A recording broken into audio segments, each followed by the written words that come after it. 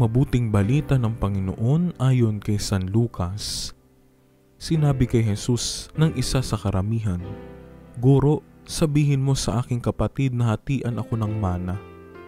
Ngunit sinabi ni Jesus sa kanya, Kaibigan, sino ang nagtalaga sa akin bilang hukom o tagapaghati niyo? At sinabi niya sa tao, Mag-ingat kayo at iwasan ang bawat uri ng kasakiman sapagkat magkaroon man ng marami ang tao, hindi sa kanyang mga ari-arian nakasalalay ang kanyang buhay. At idinagdag ni Jesus ang isang talinghaga. May isang taong mayaman na maraming tinubo sa kanyang lupain. Kaya nag-isip-isip siya, ano ang gagawin ko? Wala man lang akong mapagtipunan ng aking ani. At sinabi niya, ito ang gagawin ko Gigabiin ko ang aking mga bodega at magtatayo ko ng mas malalaki. Doon ko titipunin ang lahat kong trigo at ang iba pa. At masasabi ko na sa aking sarili, Kaibigan, may marami kang ari-ari ang nakalaan para sa maraming taon. Magpahinga ka, kumain, uminom at magsaya.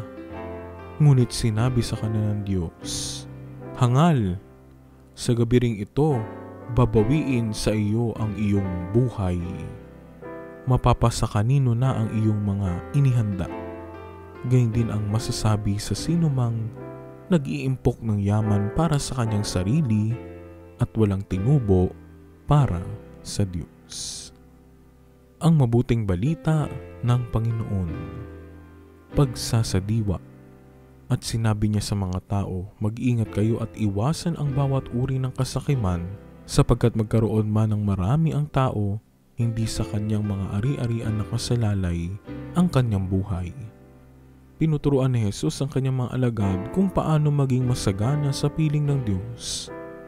Minsan inilarawan niya ang karian ng Diyos bilang pinakadakilang yaman sa parabola ng mamahaling perlas.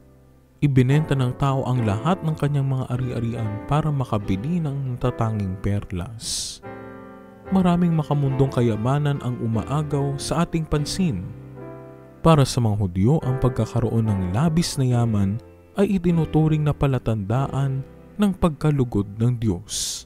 Binalaan ni Jesus ang mga tao sa ganitong baluktot na takbo ng isipan at maling pag-unawa sa kayamanang material. Ang pagtitipon ng mga kayamanan ay mayaaring umalipin sa sarili o pamilya Bukod pa rito, ang katiyakang ibinibigay nito sa tao ay pansamantala lamang na dagling lumilipas. Inaalok tayo ni Jesus ng isang tunay at natatanging maasahang yaman na kailangan nating tipunin sa langit. Sa konkretong paraan, itinuturo ni Jesus na makapagtitipon tayo ng kayamanang ito kung tayo'y namumuhay na hindi makasariling naglilingkod at nagsasakripisyo sa ating kapwa. Ipinapakita niya sa atin na maaari tayong maging mayaman sa karian ng Diyos kung matututo tayong magpatawad sa mga makasalanan at kumalinga sa mga nasa laylayan ng lipunan na hindi ipinagmamalaki ang ating sarili sa iba. Pagsasagawa, gawin mong panatag ang iyong kalooban at iharap ang sarili sa Panginoon.